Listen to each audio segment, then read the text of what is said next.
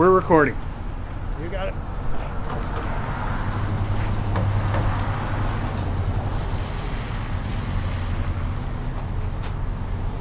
Very good. Okay, what's your guys' name and where are you from? Michelin and Ralph from Ottawa. And uh, who is your favorite prime minister, not including Justin Trudeau? Yeah, he's definitely out. Uh, well, the one I like is dead now, so it really wouldn't matter. Who's that? Uh, senior? Mackenzie King. Oh yeah, he wasn't bad. Um, I got my questions here. How has the lockdown affected you positively? Well, doing a lot of exercises, walking every day, cross country skiing, snowshoeing, so out every day. And we live down here, so we can go along the canal. We can do all those things. Yeah, you it's, know, it's healthy. Like the roads have been closed for the summer uh, when so people can walk. You see families walking, you know, with their children and everything. So it's a positive to us.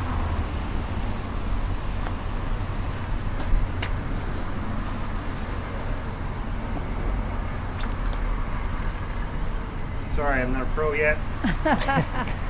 uh, the best book ever is The best book ever. Um, The Old Man in the Sea by Hemingway.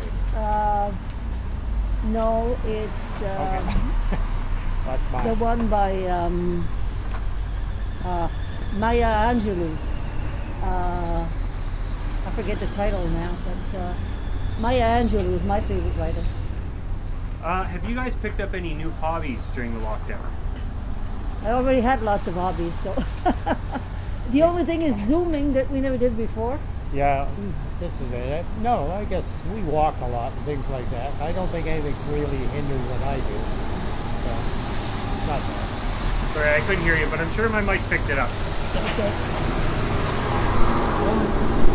It's pretty hard with the. Uh, Yeah, I know. Last time I came and did this, I had a You tripod. drop something. yeah. Oh, thank you.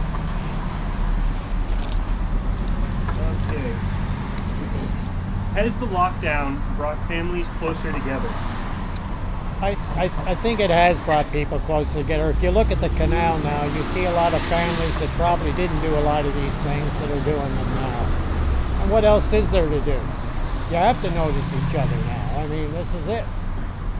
Some people it, it didn't help. Some people it was a, you know, you hear there's a lot of violence as well going on. So Yeah, it depends. Uh, but uh, we see also a lot of positive with families getting together with children and everything, which people didn't do in the past, and uh, enjoying family life. And if you go and buy any sporting equipment anywhere, it's all sold out. So it's good.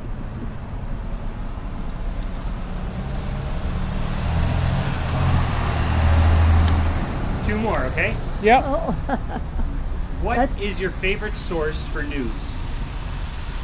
BBC. BBC World News, yes.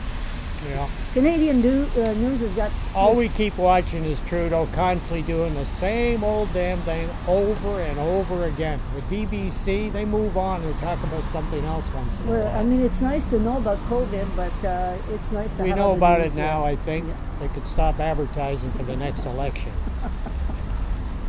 Uh, who is your favorite news anchor? Favorite news Could anch- be past or present. Walter Cronkite. Oh yeah, I knew you were going to choose someone old. Yeah, I like Peter Mansbridge. yeah he's Yeah, Peter good too, Mansbridge yeah. is good too. Yeah. Great voice. Yeah. Yeah. Honest looking. And uh, I, uh, I very appreciate that very much, guys, for stopping. And No Okay. problem. Thank you very much. Here- you. I think he needs a haircut. Uh, if you want to look for me on